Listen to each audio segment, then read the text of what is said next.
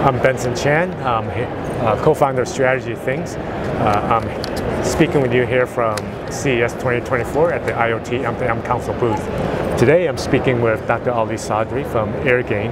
Uh, he's the CTO of Airgain. Um, Dr. Sadri, can you introduce yourself a little bit more and talk a little bit about your company first? Of course, uh, thanks for having me here. Uh, I uh, joined Airgain close to three years ago, two and a half to three years ago. Uh, a little bit background about Airgain. Airgain was formed as an antenna company back in 2002. Uh, we were specialized on the smart antennas, embedded antennas, and uh, in 2016 we went public and uh, we're now traded on NASDAQ. Um, when I joined the organization, the um, the organization still was focusing more on the components. Again, antennas, embedded antennas, uh, automotive antennas, um, you know, working directly with the OEMs and ODMs uh, to integrate antennas into set-top boxes, uh, uh, the, the routers, gateways, and so forth. Uh, my role was to transform the company from an, a, a component a provider to more of a wireless system uh, uh, company. And uh, we have made that transformation. And the reason we, we made that transformation was, you know, to get access to a much larger uh, uh, TAM. You know, antennas are good, but to get, you know, much bigger uh, revenue, you, you, move into the into the system. Um, we've made uh, quite a lot of progress. Uh, we, we, announced uh, several uh, uh, key products uh, in, in, 5G, and some of them, you know, you know, includes fixed wireless accesses, routers for the automotive, which we just announced it at the CES. The, we call it Airgain Connect Fleet, designed for first responders, you know, public utilities and so forth that don't have 5G connectivity. It also provides uh, uh, built-in uh, Wi-Fi connections uh, for whoever wants to get access to the broadband. We're also very active into uh, the, the, infrastructure side. Uh, we announced during the Mobile World Congress that we are developing um, the, the network repeaters uh, for, for extending the range of the 5G devices and 5G uh, signals from the base stations to the, to the users. So that transformation successfully happened in the, in the past uh, you know, two and a half, three years, and, and we're definitely a di different company at the moment. Mm, that's great. Now you mentioned uh, here at CES, you guys announced a few things. You know, what are some of the big, bigger announcements that, that, that you guys are doing here, or you know, where are you guys going with some of these new products? What new right. products are on the horizon? Uh, you know, where are you guys headed? With some right. of these things. So when we look at uh, you know what what we're going to achieve, one of the models that you know we we talked about earlier was we would like to simplify wireless systems for our customers.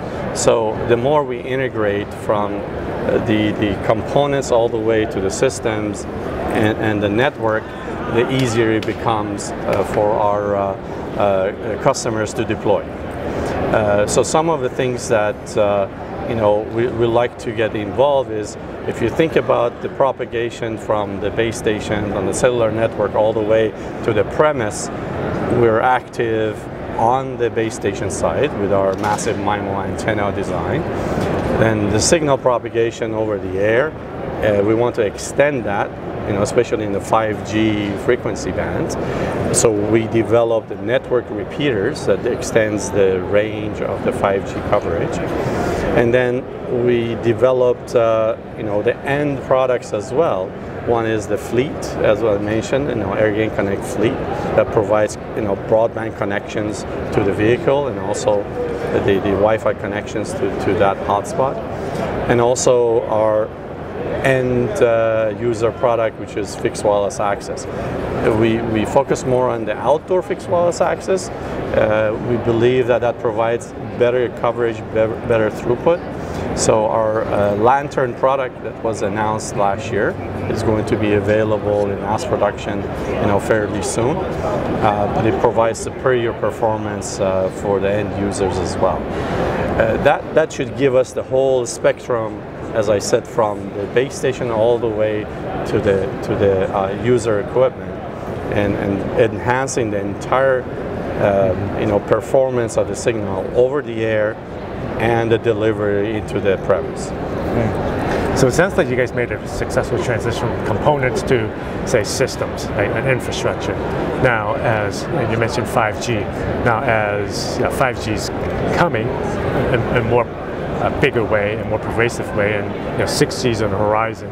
You know, what are some of the things that people are thinking about or challenged with as they're uh, deploying or figuring out their 5G, 6G strategies, you know, regards to infrastructure or right. approaches, and right. what are some of the things that you're seeing or hearing? Right. Thank you for asking that question. That actually the core of our business is, is how to enhance again the performance of the 5G network, both for the uh, MNOs and also for the end users. Uh, and, and that's also a part of the next generation of the cellular system as well. Um, to, for 5G to be successful, we definitely have to think about the signal propagation, right? As we go up in the frequency band, the path loss of the, the signal increases exponentially as well. So while the, the MNOs using still the same towers and the same locations that they use for the LTE and sub, uh, you know, two gigahertz uh, uh, uh signal for LTE, when they moved into the 5G and you know 2.5 gigahertz and 3.5 gigahertz, the signal propagation you know decays very very quickly. So while they want to give access to all their customers at the 5G speeds, they're not able to reach that because the signal doesn't propagate that far. That's where we started to focus more on our network repeaters, a very sophisticated uh, development that we worked on for the past two years, that we get the signal over the air, we clean it up, we do carrier aggregation, we cancel the echo, and we transmit it to the direction that we need to extend the range or get a better coverage.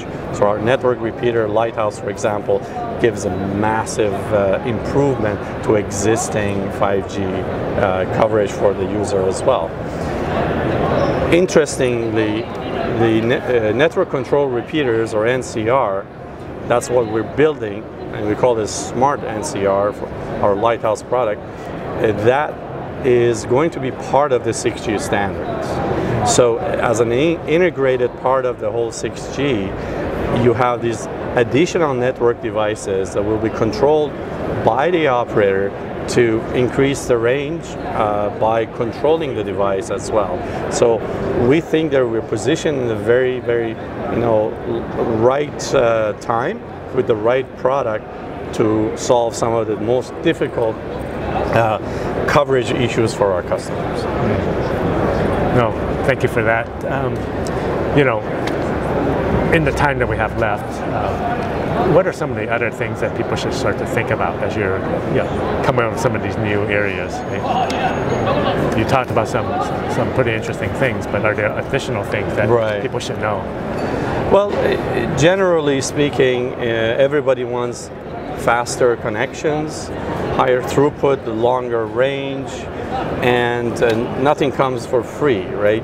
Uh, and the spectrum is not available, you know, uh, in, in, many uh, areas that we want to use that spectrum. So um, I know FCC is trying to extend the, the release of certain or auctioning certain frequency bands to allow, you know, additional products to operate in upper six gigahertz or seven gigahertz band, but these these frequency availability are finite. Uh, I think eventually, at some point, we have to move into the much higher frequency band or millimeter wave frequency, and that by, by itself creates another challenge. As I said, as you go up in the frequency band, the path loss increases exponentially, and therefore the, the use of repeaters become more apparent. So you need to put more and more of these repeaters to get a better coverage. And that's where I think 6G is looking at as well. And, and I think uh, that's something that is a great opportunity for Airgain and our customers. Uh, and hopefully we can, we can participate in that market as well. Mm. Well, Dr. Sadri, thank you. This is very interesting, and I learned some uh, things. I really enjoyed our conversation. Uh, yeah, I know you're here at the show at CES. Uh, I hope you have a great show, and thank you for speaking with me. Thank you so much. Thank you for having me. Thank you.